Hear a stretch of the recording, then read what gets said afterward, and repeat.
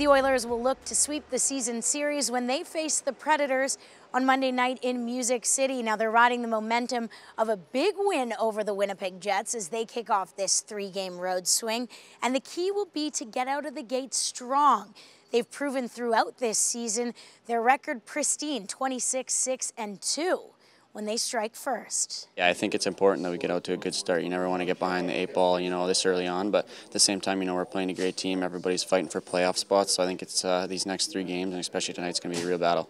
Leon Draisaitl leads the way in the head-to-head -head with Nashville with four goals and an assist in their last two meetings.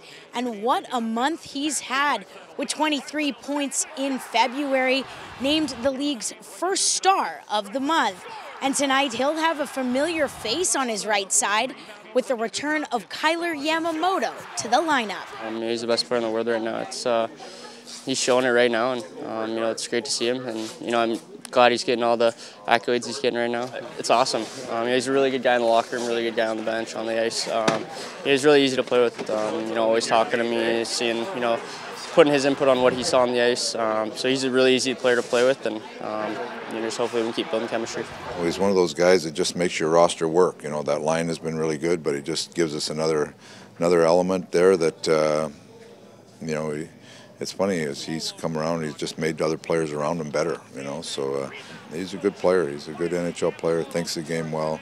Anytime you see a player like Leon who really likes to play with guys like that, they like to play with good players, and so he's fit in very well. And Hopefully, he can jump back in right where he left off, and and uh, you know you get a guy like that back in your lineup again. Hopefully, he gives us a boost. Josh Archibald slots in on the right side of the top line, while Mike Smith has both wins thus far on his record.